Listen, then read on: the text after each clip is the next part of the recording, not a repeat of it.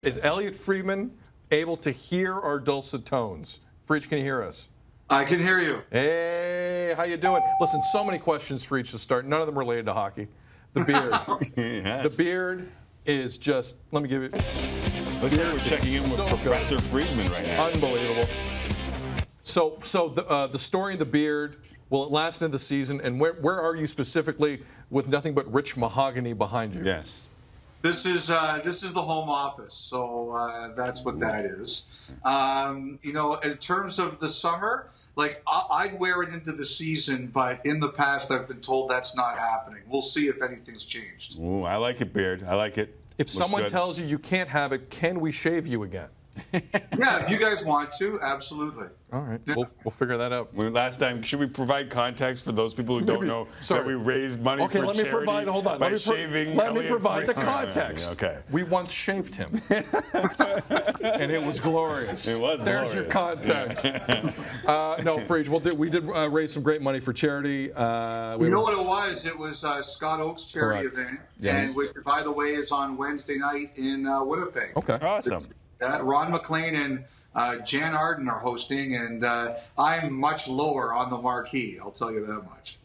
Uh, I'll be there for you. Still my favorite Jann Arden song. Love Jann Arden. Uh, all right, Freege, let's go. Uh, let, us dive into the uh, Canuck story here that you broke on Friday. Um, I can only imagine what your mentions were like from Canucks Nation after tweeting that piece of news out. What was the reaction uh, in terms of what you can tell us on a family program on national television? You know, Sid, in the summer, I really don't check my mentions. So, to be honest, I didn't, you know, really look at it too hard. Uh, now, uh, someone who did look told me it wasn't as bad as he thought it was going to be. Um, I think people understood that, you know, if you're going to, Jim Benning was going into the last year of his, of his current contract. You're kind of in a position in this league, if you don't give your general manager a vote of confidence, it's not a good thing for your team. So I don't think a lot of people were actually surprised. I, I think that if people were surprised about anything, it was the term. Uh, I understand it's a it's a three year extension next year plus three more years. I think if anything surprised people, it was that. I think people thought if he was getting an extension, it might be one year or two more. But three years is a very big vote of confidence, and, and I know what it really stems from. As I've had more time to look into it, is they look at Pettersson, they look at Hughes, they look at Boeser, and they just think that they, they believe in his core, and now he's got to build around them. And part of that, too, and correct me if I'm wrong here, Frege, I know that Canucks fans weren't happy for the most part, but Jim Benning has done a pretty good job of making his boss happy, hasn't he? Well, I, I think that I think that if you look at this this league right now, you have to draft and develop well. And you know there have been some questions about their development in Utica. That hasn't always been easy. Um, but when you take a look at the way they've drafted, especially in the first round, I mean the guy you're showing right now could be the best player in his draft, and he was taken uh, fifth overall. The guy you're showing right now is a pick in the 20s, and he looks like he's going to be a heck of a goal scorer. And, you know, Quinn Hughes, I think we're all very curious to see about where he's going to be uh, in his first full season. I I think if there's a question about Benning, I mean, the one move that, that he made last year that I I remember when it happened, I was like, "Ooh, that's a that's a huge risk." Was JT Miller not because of JT Miller the player, but because there's an unprotected first round pick potentially in the next two years they could be giving up. You know, we all saw what happened to Ottawa. They never imagined they'd be in that position, but they were. And I, think that is that's the move that I look at and say that's the gamble. But I, I think that he got the vote of confidence because of the way he's drafted. What message, Freege, does this send if you're the Aquilinis to Camp Boeser as the negotiation continues? Or am I reading too much into that?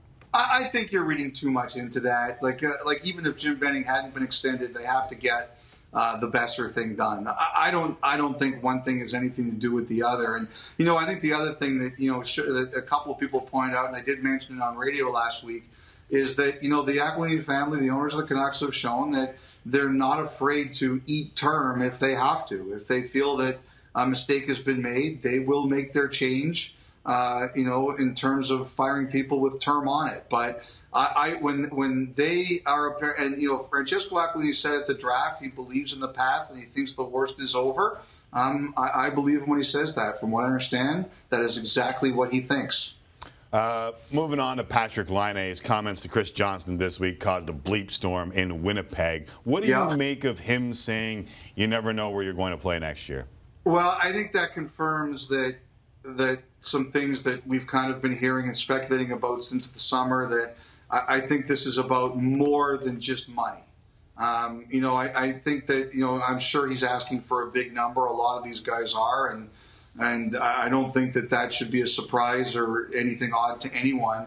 But I, I think what this is about is that there's been a question about his fit on the team and how he fits in with some of his teammates. And I don't think it's one side's wrong or the other side's wrong. I think sometimes we all have relationships that aren't smooth, and you have to find a way to smooth that out.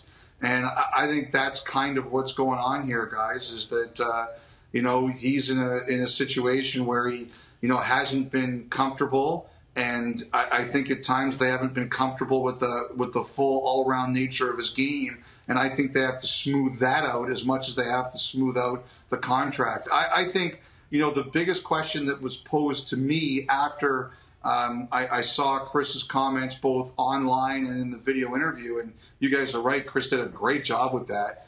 Um, is is there any chance he stays in Finland this year? Is it is it is there any chance that he he tries that? Not even necessarily because of money, but just because I don't know. Does he want to break in any kind of way? I don't know the answer to that question, but I know there were a couple teams that wondered if maybe that's an avenue that he would test out. Uh, Freed, we got about 90 seconds before we let you go. It's a tough question I'm going to put out there, and if you want to pass, I understand. Which Canadian RFA, high profile RFA, is the closest to signing, do you think? And which is the furthest away? You know, I, I'm only going to pass because I don't know the answer. Like, Sure. I, I think fair. that, you know, I'm not afraid of the question. I, I just think that, you know, one of the problems right now, Sid, is that there's no deadline. Right. and Yeah. you know people can wait. Um, so I- I'm not passing on your question because I think it's a tough question. I'm passing on it because I don't know the answer. I think it's too hard at this time to know. Can I Fair enough. rephrase it and ask you? Listen, I have seen uh, a pushback from the fans, and Laine's comments started to push back in Winnipeg. Marner, I've seen fans in Toronto be real aggressive with Mitch Marner and his negotiation with the Leaf. Are there folks in the NHL that are concerned with the way the RFA market is going? Um, yes, but I don't think it's because. Uh, you know, like I don't know if it's. I think that some of the. Cons- I mean, this is this is a really long answer. Yeah. I think there's a lot of different concerns. I think it's. You know, it used to be that the, the biggest contracts weren't the second contracts. Now they are. That's a change for a lot of people. Yeah. That's a change for teams. Like you, you think that veteran players, Tim, aren't looking at this and saying, Without a doubt, yeah. what what happened here. So I think this has thrown the league on its ear in some ways, and I don't think the league is going to do anything to the second contracts. Like I don't. If you're asking me if that's going to change, I, don't think that's going to change. But I think everybody's having uh, a tough time kind of getting their grips on this, and we probably won't have our answers for another couple of months. Yeah, maybe we we should have a longer conversation around this because I really think that we're going to get to a point where a lot of people are going to be pissed, and this could be the year where if those guys sit out, that it's going to really affect Canadian hockey. Well, I think the one thing, Tim, is that I, I think the one thing that has changed, and, and, and a lot of people have told me this, is if the Nylander thing taught everyone anything last year, it's that you can't expect a guy who misses two months to be at his best. Right. And that's why the, uh, they think that there, there are agents out there who believe that if some team, if they don't think they can win, or if, if they just think it's not going to be worth it, they're going to say you're going to sit if you're going to wait that long. They do think they, they last year they didn't think Nylander was going to sit. They thought it was work out. I, I have guys told me tell me this year that they think teams will be more willing to have someone sit if they don't think they can win. Yeah. Look at Nylander's relationships with the fans right now. Like it's not good. No, it isn't. It It'll isn't. it'll be better if he's good, but Yeah, and he might be. Yeah. Uh, Freach, fascinating stuff. I love the beard. Don't change a thing. Thank you. All right, boys, have a good night.